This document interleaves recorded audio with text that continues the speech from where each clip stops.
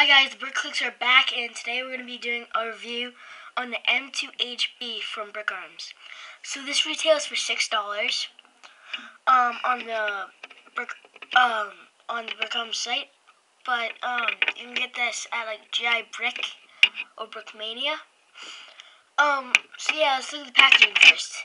So this is what it comes in. Um, it has a card. It's a very big bag. It's actually not that big, but it's pretty big. Um, because, um, the actual gun is really big, so.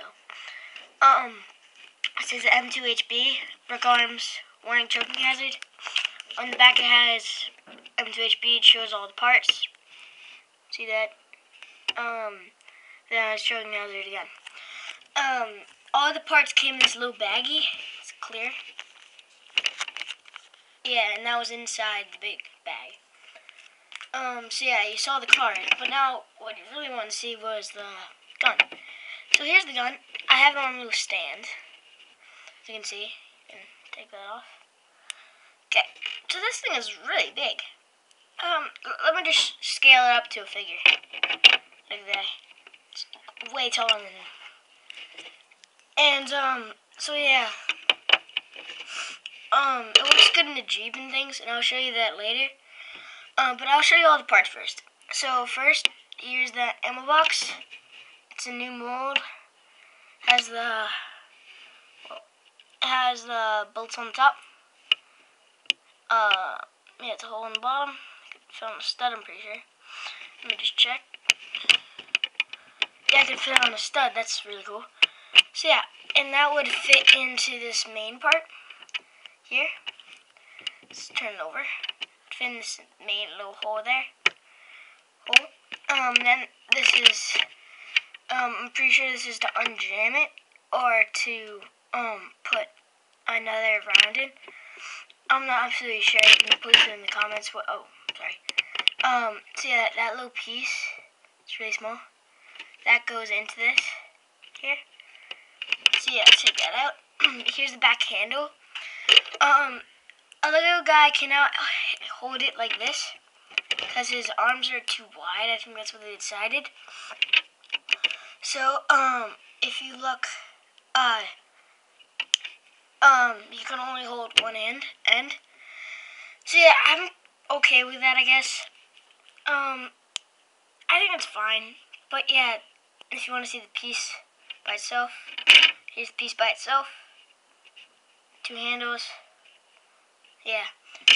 Next, um, this is the main thing. Um, right there, that's where the hole is for the tiny piece I showed you. The barrel is, whoa, it's like giant.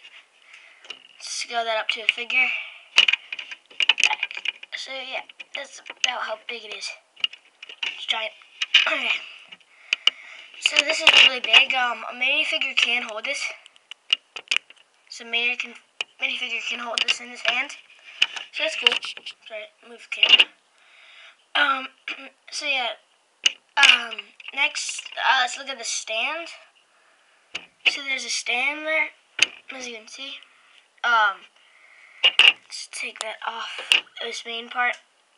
Um, these two ends it can be held in a hand. Um, but this big thick part can't. Um, so here's the little stand.